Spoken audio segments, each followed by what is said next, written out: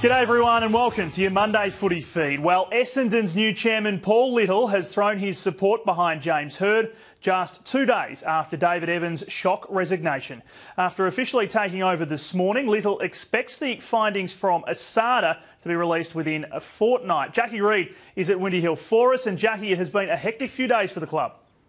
It sure has, Matt. The club must be getting used to having the media waiting outside its headquarters here at Windy Hill. New chairman Paul Little emerged to face it for the first time today. He used the opportunity to back in James Hird, and despite the pending ASADA findings, he was confident the Bombers will still play a role in September. Um, James Hird um, has also got uh, not only my full and complete support, but the board's full support and uh, we look forward to James taking us into a uh, successful finals campaign. Hird was stopped outside of his home this morning and he paid tribute to former chairman David Evans. He's going to take a short break, but uh, look, it's, it's a, uh, a, travesty, or it is a big travesty what's happened to David. And, um, we all wish him well. He's a terrific person.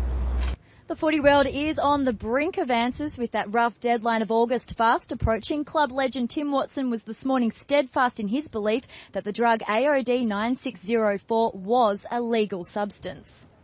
I am satisfied now that those things that were administered weren't banned, they weren't illegal in any way, and they weren't injurious and dangerous and dangerous to Jobe's health. Nevertheless, the speculation is bound to continue, but thankfully, Matt, the end is in sight. It is getting closer, Jackie. Thank you for that, Jackie Reid reporting. Now, while all of this is happening, AFL Chief Executive Andrew Demetriou and his deputy Gillon McLachlan are in America on a fact-finding mission. The journey to New York is about finding a solution to the league's equalisation debate. Demetriou has defended making the week-long trip, while the supplement scandal continues to unfold back home. I'm sure there'll be headlines that we're out of the country and something disastrous happened. But look, we've got capable people here, and the world of telecommunications, of which you specialise in, 24/7 uh, instantaneous news. I'm sure if anything does happen, that we'll be across it. Also on the trip, key club presidents and chief executives, Eddie McGuire outright rejecting any suggestion it's a junket. I'll tell you what, I'll pay for it myself, OK? I'm happy to pay myself. The touring party is meeting with key people in the NFL, NBA and Major League Baseball. An ominous warning from the Hawks today for the rest of the competition. They can get better. It was back to school for Brian Lake this morning after helping teach the Bombers a lesson on Friday night. The defender rates the victory as one of the Hawks' best this season, but they're still not still satisfied. Got a lot of areas we've got to improve on. Um, even having having two losses, there's, there's some games that we've played uh, pretty average. It's definitely our, our, best game that we've probably played for six weeks. We've been a little bit flat. We've still been, getting, been able to get the wins, which is the, the most important thing. The top of the table Hawks face Richmond on Saturday.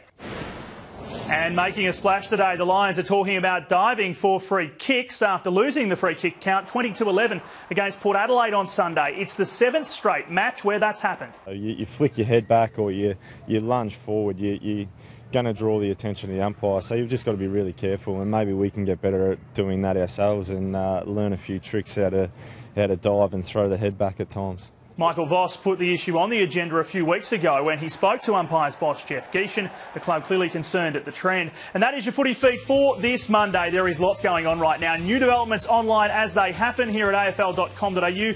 Keep in touch as well on Twitter and on Facebook. For now, I'm Matt Thompson. Thanks for watching.